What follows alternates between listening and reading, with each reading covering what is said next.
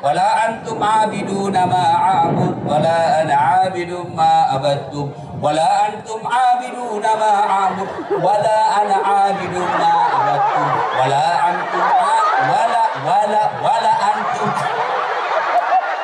ada teman ini di samping saya ada fakultas sastra Ridwan ada jengkel lah sudah bilang hei kenapa itu tak putar-putar tidak sampai kami lagi di imam ini juga kupikir kacau sholat siapa salah? Siapa salah? Siapa? Imam. Makanya hati-hati pilih imam. Dan kita juga rakyat jadi makmum namanya. Harus ada etikanya. Jadi rakyat itu ada tata aturannya. Berjamaah. Coba lihat kalau berjamaah apa? Coba lihat kalau berjamaah. Nabi menganjurkan terutama kalau subuh. Kalau kalian ke masjid sikat tinggi dulu. Kenapa nanti kau ganggu orang. Assalamualaikum. Eh tetanggamu menghadap sama kau. Baik sampai mati dia ingat itu mulut musuh. Pergi kau pengantin nah lihat lagi. Maka bau sumpan dia roh kalau kita cinta kepada Rasulullah salah satu caranya adalah menghidupkan sunnah-sunnah beliau. Apa sunnah-sunnahnya? Satu di antaranya sholat berjamaah saya yakin di sini kota Palu Pak ramai sholat jamaah. Apalagi kalau subuh Uy, ramai. Sampai di luar penuh. Tidak ada di dalam.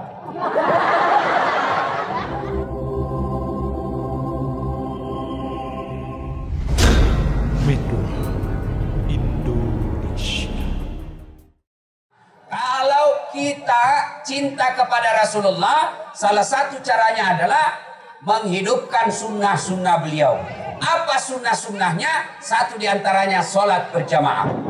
Saya yakin di sini kota Palu Pak, ramai sholat jamaah. Apalagi kalau subuh, Uy, ramai sampai di luar penuh, tidak ada di dalam. Kenapa? Kenapa orang malas berjamaah di masjid? Nah, satu dengar baik-baik. Satu, kenapa orang malas berjamaah di masjid? Karena dia tidak lihat pahalanya.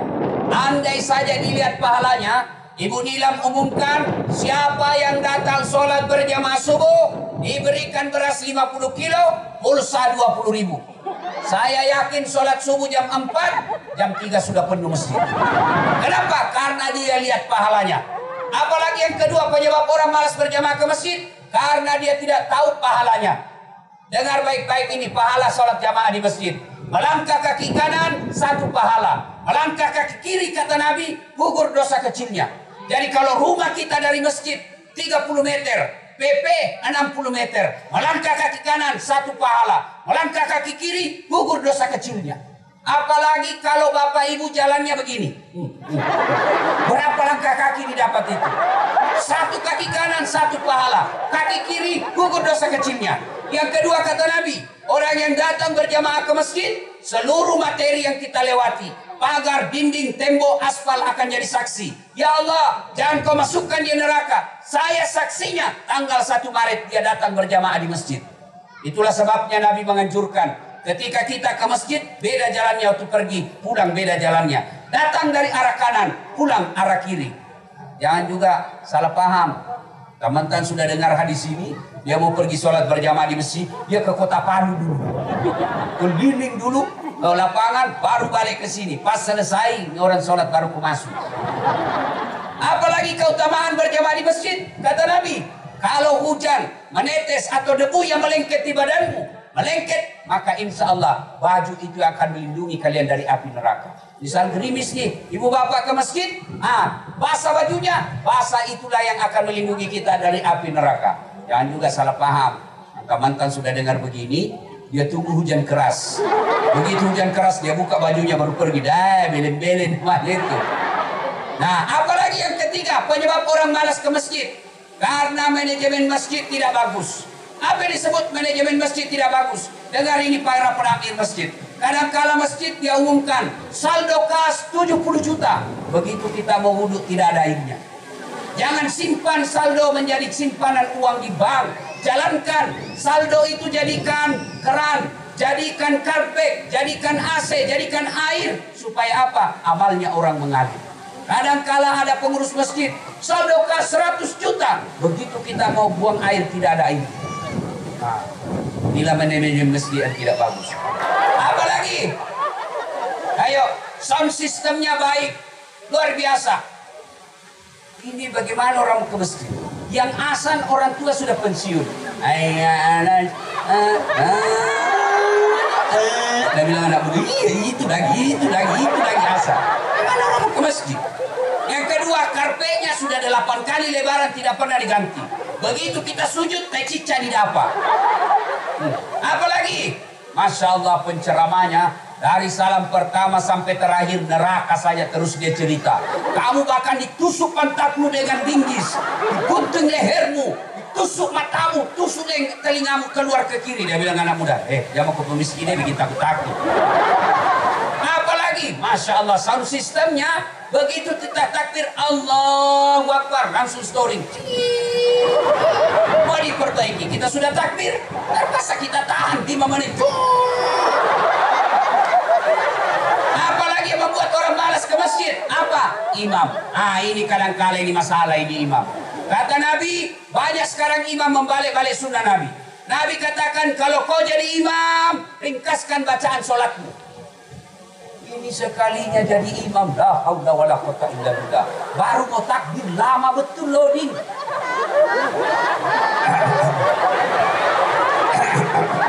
Agak dia itu udah muakam di bawah selesai. Ada juga begitu. Eh, Kata Nabi kalau kau jadi imam ringkaskan bacaanmu. Itulah sebabnya kita balik ke belakang. Salat jami rahimahullah. Kita mau lihat pasukan. Siapa tahu ada pasukan di belakang remati. Orang tua yang sudah pensiun. Usai saya kasih tomat wae. Ya, itu kepalanya belum diselesai. Naik lagi kepalanya. Aulah lagi jatuh lagi ke siang. Naik lagi. Dah, aulah lah sisa orang tua.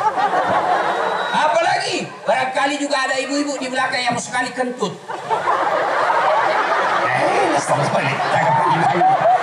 Barangkali ada juga Satpol PP, polisi setengah. Iya toh? Ada di sini. Ada di sini. Nggak ada nggak ada nggak ada nih. Sampai ada Satpol PP curhat sama saya, komandannya Satpol PP. Dia Ustaz, gara-gara ceramahmu bilang Satpol PP, polisi setengah, banyak dituntut cerai sama istrinya. Kenapa bisa? Dia bilang, baru nggak tahu istrinya bilang, bukan pandai polisi. Polisi kalau Satpol PP.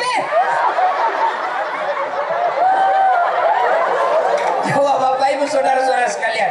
Ah, barangkali ada Satpol PP pakai sepatu baru. Belum lunas. Lama sekali. Nah lupa simpan baik-baik di depan pintu. Nah bilang, gila di sepatu. Gila sudah sepatu. Ini panjangnya. Ayo. Maka imam yang baik kata Nabi ringkaskan bacaan sholatmu. Kata Nabi, imam, coba lihat Nabi, baca sejarahnya Nabi. Kalau Nabi sholat sunnah, bahkan sampai bengkak betisnya beliau. Kalau sholat sendiri. Tapi kalau beliau menjadi imam, beliau baca yang ringkas-ringkas. Yang kedua, kata Nabi, kalau kau jadi imam, baca yang umumnya orang hafal. Tujuannya apa? Satu, supaya jamaah bisa ikut. Coba kalau imam membaca wadduha, kita bisa ikut. Kenapa? Kita hafal. Tapi coba kalau imam membaca surah Al-Baqarah ayat 10 sampai 112. Dia husu dengan bacanya, kita husu dengan hayalan. Kita mau ikut, tidak dihafal. Kita mau sujud, belum dimulai. Terpaksa kita baca semua pengumuman di dinding. Keadaan keuangan kas. Saldo 70 juta. Masuk, baik dibaca semua, Pak. Belum selesai, Imam habis sudah satu papan, belum selesai imam. Dibaca lagi kalender. Persatuan Guru Republik Indonesia Sulawesi Tengah. Belum selesai, dibaca lagi bajunya orang di tengah kita.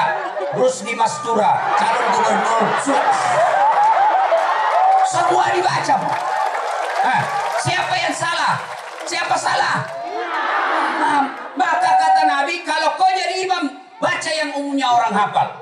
Yang kedua tujuannya apa? Supaya kalau kau salah, ada yang bisa luruskan.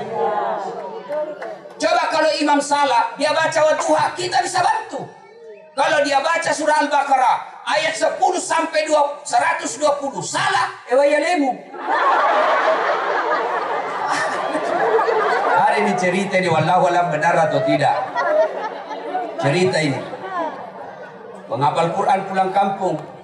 Disuruhlah jadi imam karena orang mau dengar hafalannya. Coba kau deh, kau jadi imam didengar hafalanmu. Al-Fatihah lancar.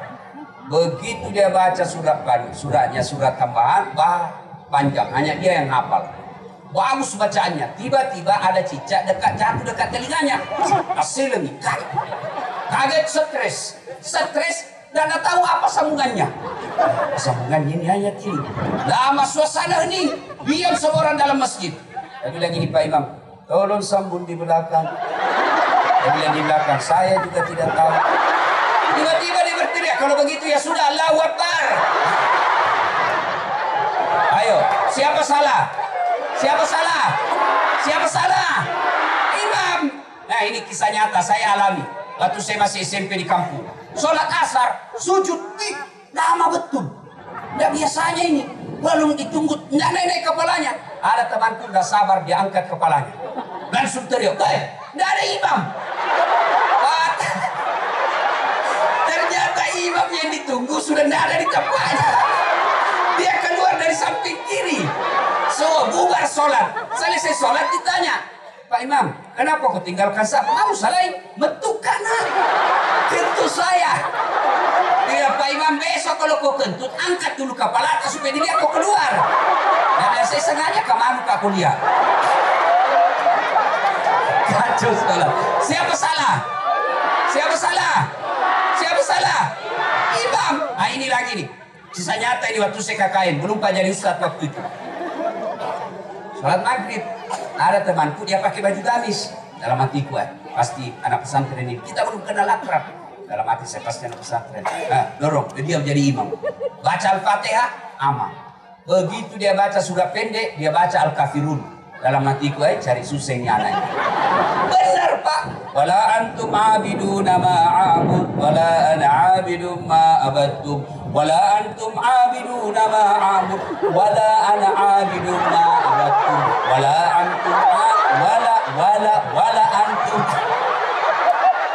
Ada temanku ini di samping saya ada fakultas sastra, Ridwan jengkel. Lah sudah bilang, hei, kenapa itu tak putar-putar tidak sampai? Tapi lagi di imam, ini juga kupikir. Kacau sholat. Siapa salah? Siapa salah? Hati-hati pilih imam. 2020 ini Sulawesi Tengah milih imam. Gubernur namanya. Salah milih imam, kacau sap. Maka hati-hati. Ya. Hati-hati milih imam. Salah milih imam, kalian kacau lima tahun. Ya. Insyaallah. Siapa? Bapak dari saya. Ya. Maka hati-hati milih imam. Salah milih imam, kacau hidup kita satu provinsi selama lima tahun. Ya, ada lagi nih bahayanya jadi imam kalau salah-salah. Tuh, penting kita milih imam yang baik. Itulah sebabnya dalam agama mengajarkan pikir sholat jamaah. Kalau milih imam, hati-hati. Jamaah siapa saja boleh jadi jamaah. Kalau jamaah mulai dari orang cerdas sampai orang bodoh boleh jadi imam. Kalau jamaah mulai dari orang balik sampai paling dewasa kakek-kakek boleh jadi imam. Tapi kalau imam eh boleh jadi imam. Dari anak kecil sampai orang dewasa boleh jadi makmum. Dari orang sadar sampai orang gila boleh jadi makmum. Tapi imam hati-hati. Tidak boleh sembarang jadi imam. Dan kita juga rakyat jadi makmum namanya. Harus ada etikanya.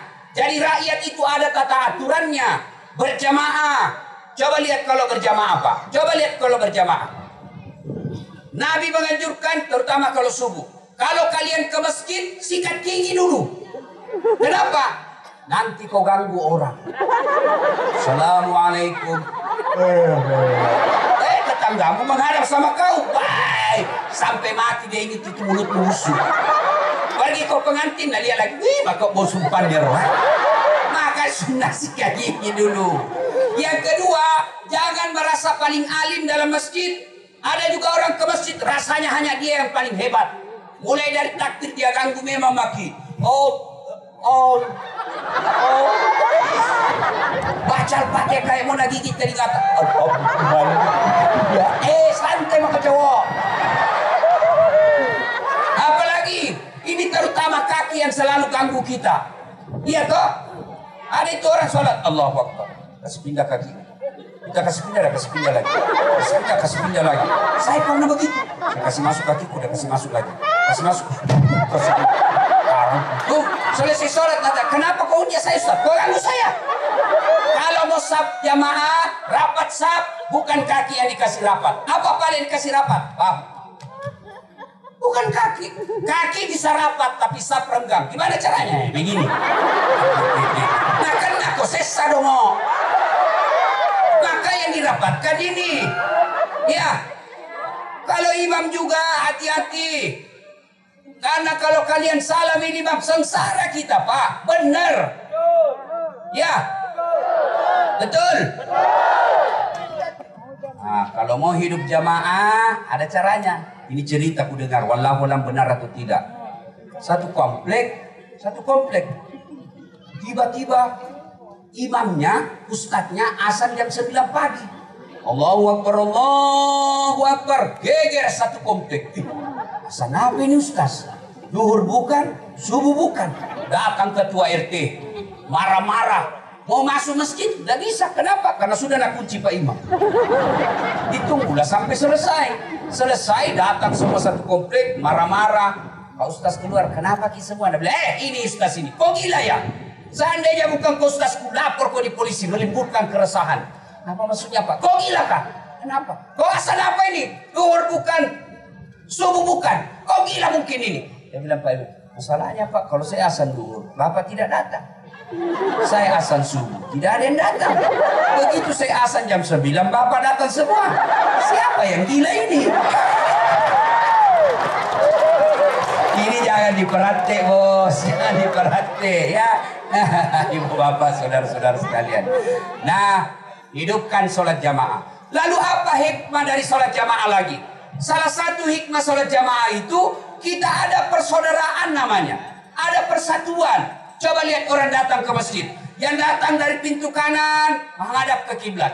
Yang masuk dari pintu kiri menghadap kiblat. Yang masuk dari depan masjid menghadap kiblat. Tidak boleh mengatakan saya datang dari pintu kanan menghadap ke kanan. Yang datang dari pintu kiri dan menghadap ke kiri. Begitu ruku, baku tabrak pantat. Woi, orang-orang. Ya, persatuan dalam Islam. Itu sholat berjamaah diajarkannya. Yang kemudian apa? Coba lihat orang kalau berjamaah. Semua bahasa sama. Takbir sama semua. Meskipun jamaahnya beda-beda sukunya. Bayangkan kacaunya sholat seandainya kita pakai bahasa masing-masing. Yang jadi imam orang Arab. Dia takbir pakai bahasa Arab. Allahu Akbar. Makmum datang orang Bugis. Dia takbir pakai bahasa Bugis. Bungallahu ta'ala malumpu. Eh, datang orang Toraja, mualaf masuk Islam, dia takbir pakai bahasa Toraja. Bungallah ta'ala tonggo gajah. Datang pula orang Makassar, dia pakai bahasa Makassarnya. Allah kareng Allah ta'ala lumpua. Datang saudara kita penjual nasi padang. Dia takbir pakai bahasa padang. Allah dan gadang. Datang pula saudara kita dari Kalimantan orang Banjar. Dia pakai bahasa Banjar. Allah ganal bujur. Terakhir penjual soto Betawi. Datang dia takbir pakai bahasa gaul dari Jakarta. Allah gede banget gitu loh. Kacau sholat. Makanya ibu bapak pilkada jangan ribut. Silakan. Terserah. Yang penting jangan bertengkar, jangan berpecah belah. Umat Islam ini tidak boleh kita berpecah belah. Apalagi kita ini palu. Baru selesai kena musibah. Kalau gara-gara pilkada kalian bertengkar, siapa yang urus nanti yang masih tinggal di rumah-rumah pengungsian? Masih ada tinggal di rumah pengungsian? Nah, kemarin beberapa hari saya dengar dia bilang Pak Ahmad Ali, kalau kami menang Ustaz, kami selesaikan semua. Ya, insya Allah. Nah ibu bapak, saudara-saudara sekalian, Wa'tasimu bihablillahi jami'a wa la.